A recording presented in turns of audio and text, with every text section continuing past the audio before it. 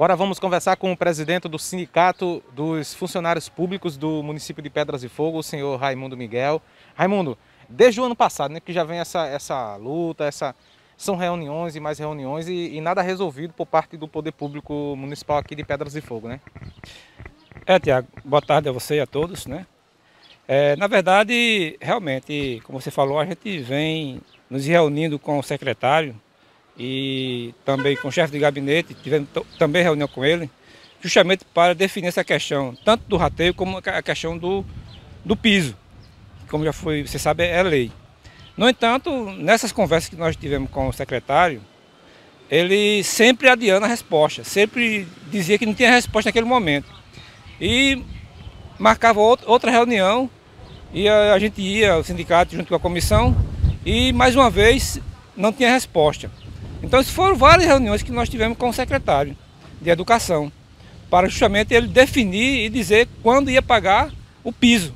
Como você sabe, a lei federal, o piso de, que corresponde a 33,24%. E aí a gente não conseguiu até esse momento nenhuma resposta.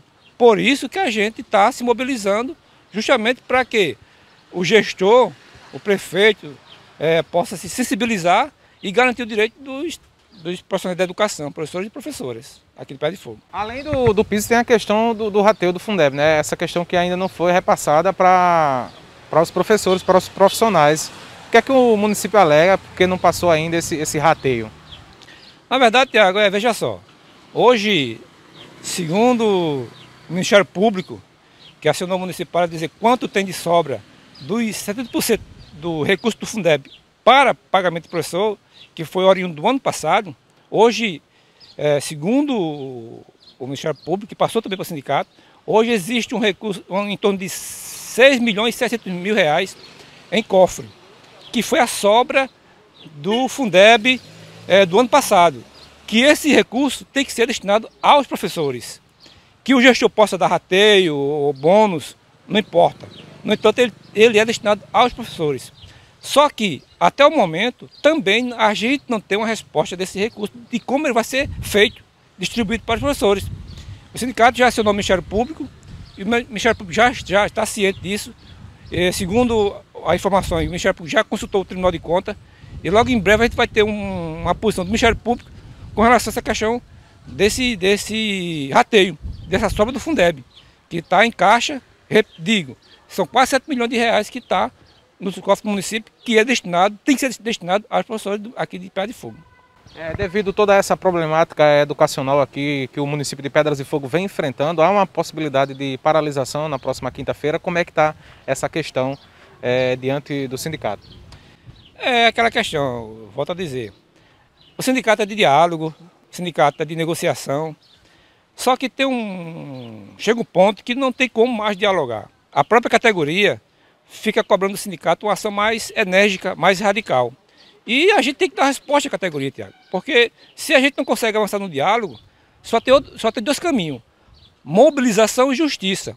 Então, na verdade, a gente vai continuar se mobilizando até que o gestor possa dar uma resposta. A gente tem né, é, já marcado aí, como eu falei aqui no ato, na próxima quinta-feira o carro vai sair na rua anunciando um estado de greve. O que é estado de greve? A gente vai preparar, preparar a greve da, outra semana. Até lá a gente vai estar tá se mobilizando. O que não pode é a gente continuar calado diante de uma justiça. Porque o que, o, que a categoria está tá cobrando não é a favor, não é a questão acima da lei. É a lei, que se cumpra a lei, que está aí, que os municípios já estão cumprindo. Vários municípios na redondeza aqui já estão cumprindo. E Itabaiana, que é um município desse tamanho, já não sei o que vai pagar. Aqui a gente tem vários recursos e o próprio prefeito disse que tem recurso em, em, em caixa. E além do, do, do, valor aluno ano, que todo ano é reajustado. O governo federal reajusta todo ano o valor aluno ano, que é para cobrir esse, essa despesa com o Fundeb, o novo Fundeb. Ok, Raimundo Miguel, presidente do Sindicato dos Servidores Públicos do município de Pedras e Fogo. Imagens de Bruno Nascimento, Tiago Souza, diretamente do Centro Administrativo, na cidade de Pedras e Fogo, no litoral sul da Paraíba, fazendo mais uma cobertura aqui do movimento dos professores em prol de melhorias do rateio do Fundeb e também do piso, é, o reajuste do piso é, salarial do magistério, que é de 33%. Então, não esqueça de curtir, comentar, compartilhar, ativar as notificações, arroba PBPE TV nas redes sociais e acessar também o nosso site pbpe.tv. Olá, seguidores da PBPE TV. Agora vamos conversar com a professora Micheline de Souza Lira, que está, está sendo prejudicada, não só ela, como toda a categoria de professores do município de Pedras de Fogo. Professora, quais as dificuldades que a senhora vem enfrentando desde o ano passado para cá? Bem, inicialmente eu gostaria de saudar a todos os munícipes, tanto de, de Pedras de Fogo como de Itambé. Sou professora do município há 25 anos e, infelizmente, nós estamos sendo prejudicados desde o início da gestão do atual prefeito, porque não estamos tendo os direitos garantidos. Né? Inicialmente, tivemos uma alta na alíquota do IPAM, que é da Previdência Municipal, que elevou-se de 11% para 14%. Depois tivemos a realização da reforma da Previdência, que foi uma reforma esmagadora, não é? sepultando os nossos direitos. É, digo isso porque há colegas que só estarão aposentados com 82 anos de idade, se assim Deus permitir a vida deles. E depois disso, tivemos várias outras atitudes não é, da gestão municipal que afrontam os nossos direitos.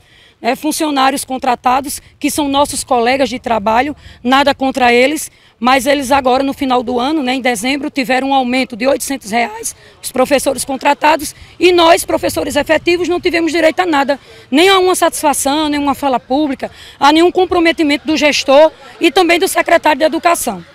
Depois, em seguida, nós começamos a lutar pelo direito de receber o rateio do Fundeb, que são as sobras do dinheiro do recurso federal que paga o salário dos professores, e também não tivemos uma resposta negativa. Por isso que o sindicato, juntamente com o, o advogado né, do sindicato que nos representa, entrou com uma denúncia, não é uma notícia de fato, para que o Ministério Público se é, recebesse as informações cabíveis, porque nem a nós, por parte da gestão municipal e da Secretaria de Educação, nos foi fornecido nem o valor do rateio do Fundeb. E só depois é, de ingressar com essa notícia de fato no Ministério Público, ficamos sabendo, através da iniciativa né, do promotor público, que os recursos do rateio do Fundeb passam de 6 milhões. E o dinheiro é nosso e nós queremos receber, porque é um direito líquido e certo e nós não podemos deixar acontecer o que vem acontecendo, né, que é a negativa dos nossos direitos. E agora, no momento, nós estamos lutando pela aplicação do reajuste do piso salarial um reajuste que foi é, ofertado, né, que foi dado pelo governo federal, é, ratificado na portaria ministerial do Ministério da Educação, e nós temos esse direito a receber o aumento de é, 33,24%, e infelizmente o gestor municipal não garante os nossos direitos. Né? Não, até agora nós não tivemos o reajuste reaplicado e esse aumento já era para ter sido aplicado desde janeiro. Caso não tivesse sido aplicado em janeiro, que fosse aplicado agora em fevereiro, com retroativa a janeiro. Mas infelizmente tivemos a péssima notícia que receberemos fevereiro sem o aumento do piso salarial. É, então, essa é a nossa luta, uma causa justa, e nós esperamos que a gestão municipal é, tenha sensibilidade e compreenda que o direito é nosso e nós queremos receber. E é por isso que nós estamos às rua, ruas, é, mobilizando a categoria e informando a população do que a gestão municipal né, tem feito com a categoria da educação e, evidentemente, tem nos prejudicado imensamente. É, professora Micheline, desde, desde o ano passado a senhora vem usando a tribuna junto com o sindicato, defendendo a classe, defendendo os professores. É, devido a isso, há perseguição, há ameaças contra a senhora?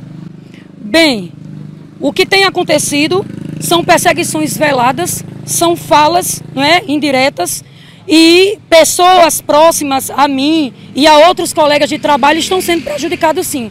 Pessoas foram transferidas do seu local de trabalho simplesmente porque tem uma ligação próxima a nós, professores.